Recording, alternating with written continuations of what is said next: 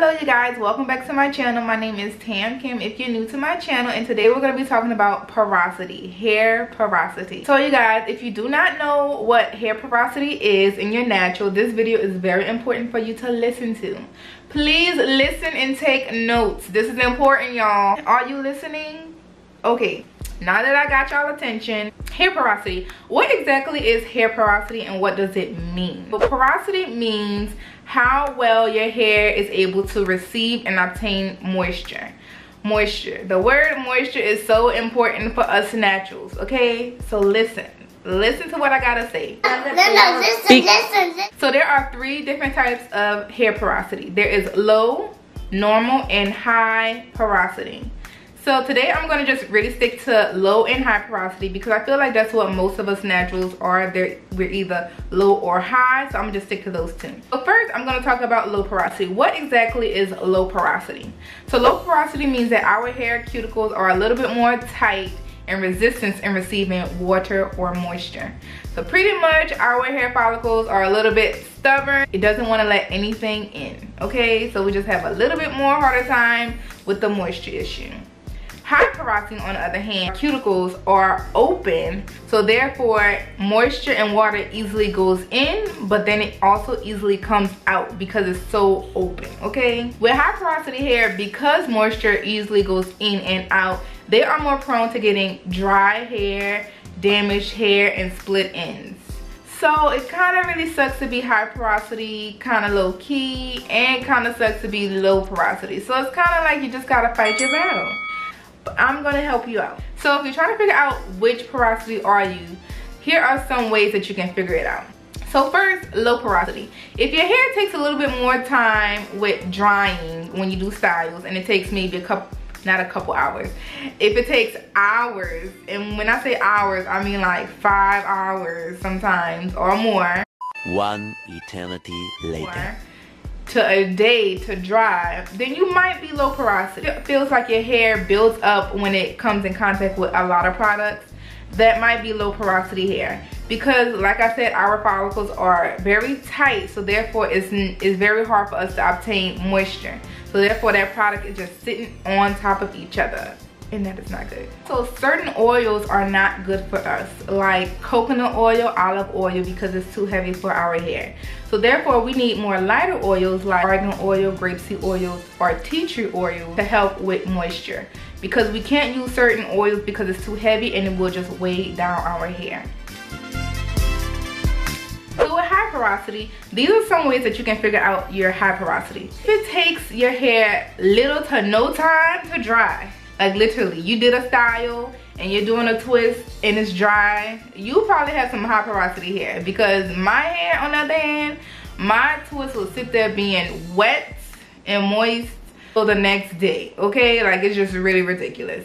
But if your hair actually dries super quick, then you might be high porosity because your follicles are so open, the moisture is coming in and just flying on out. Also, if you have a big tangling issue, tangling issue.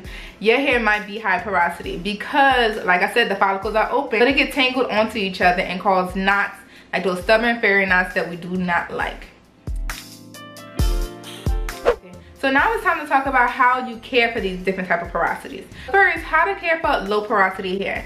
So since our hair follicles are so tight and it's more resistant to obtaining moisture, we need to use different methods like adding heat into our styles in order to open up those hair cuticles. So like when we're doing a twist out or a deep conditioner, we can use like a heated bonnet or like a heated dryer in order to open up the follicles to let all that moisture from all of the moisturizers that we don't use to enter into our follicles and give us that moisture that we need. Reducing the amount of products that we use also helps because like I said, we can't take too much product because our hair is already tight and it's not letting anything in.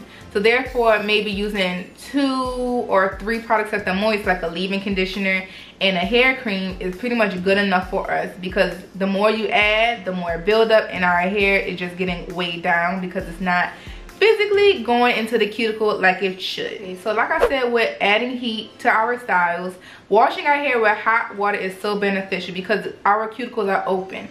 So when we're washing our hair with the hot water and we're adding all that conditioner in it, we need to end it off with cold water in order to lock in all of that nutrients from the conditioner in order to seal the cuticles. Just so the cuticles can close up and keep all of that goodness from the conditioner. Because if you just rinse it out with hot water everything that you just put in your hair just flies on out. So now let's talk about high porosity hair and how to care for that. So high porosity hair, since y'all are prone to drying, I would not suggest using heat because all that does is just leaves your cuticle open even wider than what it needs to be and all that product is just falling out. And y'all really need to keep the moisture okay so i suggest to just use air drying because that helps better.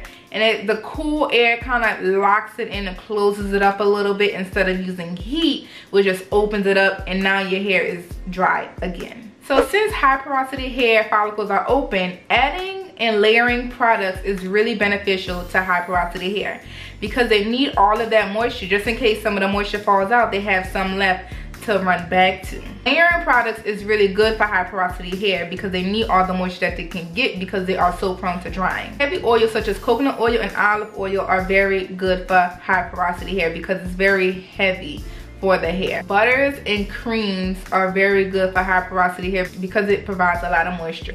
So now that we talked about high and low porosity and how to care for both of them and if you may be either or, they have two tests that you can do to try and figure out if you're high or low porosity. So the first test is the water cup test. So the water cup test is taking a cup of water and a strand of hair and sitting it inside of the water. If your hair floats on the water, that means that your hair is probably low porosity because, like I said, your hair follicles are so closed and shut, they are not letting anything in. Therefore, that water is not coming in this hair at all. So I'm gonna just sit at the top and no one's not gonna touch me and we gonna be like that. That's pretty much how it is. So if you are a high porosity, your hair will float all the way to the bottom or close enough to the bottom of the cup because your hair follicles are open and all the water is getting into it because it is dry and it is thirsty, okay? And if your hair sits in the middle of the cup, that means that you aren't normal porosity. So it's kind of like you a little bit of both, which isn't a bad thing. It's pretty good to be normal porosity. You know, you have less issues than the high or the low. You know, you don't gotta fight too many battles. So the second test is the water spray test. Pretty much you take some hair with a bottle of water and you just spray your hair. And if your hair has beads of water on it, pretty much like rolls of water on top of your actual hair, that might mean that you are low porosity because your hair is not accepting that water. It is very resistant to taking in water or moisture if your hair as soon as you spray it becomes super dry it's like as if you never sprayed it. You might be high porosity because your hair is again is thirsty. It just sucked up all that water. And it's like girl i need some more. That wasn't enough. Okay i'm in this desert. Please revive me.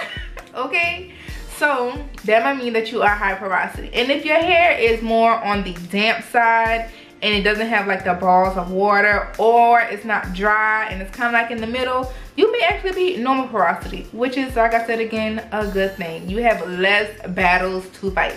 I hope this video was very informative to you guys who did not know your hair porosity or who did not know what porosity was from the beginning. Hopefully this really helped you if this did help you, please give it a thumbs up. And also, don't forget to hit that subscribe button because they will have more videos coming soon. And you don't want to miss out. Okay? And also, don't forget to hit that notification bell next to the subscribe button so you are notified every single time when I post a new video. Okay? Thank you guys. Have a good one. Porosity, team low porosity, team low porosity.